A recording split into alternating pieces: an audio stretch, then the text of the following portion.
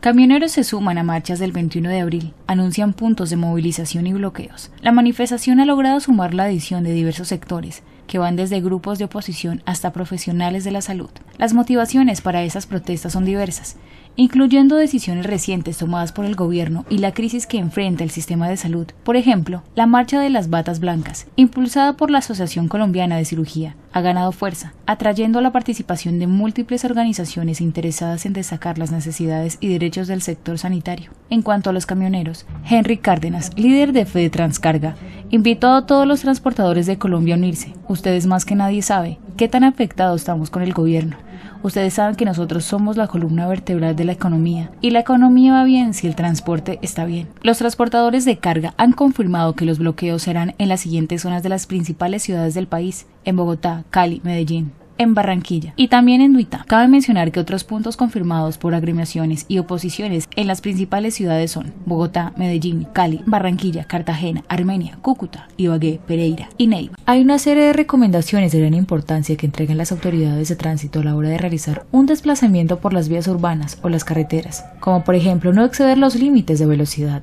verificar el estado de los automotores en sus sistemas de frenado, ruedas, dirección, luces, amortiguadores, etc. También es indispensable atender las diferentes señales que están en la vía y conducir con cuidado. Uno de los factores de mayor siniestralidad de las carreteras del país es por cuenta de los adelantamientos en zonas prohibidas por las curvas, calzadas angostas o lugares en los que no se exige suficiente visibilidad por presentarse un desnivel en la calzada. A eso se suman los elementos distractores como el celular o la radio del carro, cuya manipulación hace que el conductor aparte su vista del camino y se termine saliendo. Es fundamental el uso del cinturón de seguridad en todo el momento, o el casco en el caso de los motociclistas, así como llevar el equipo de carretera básico, con un gato que tenga capacidad suficiente para elevar el vehículo, cruceta, dos señales reflectivas en forma de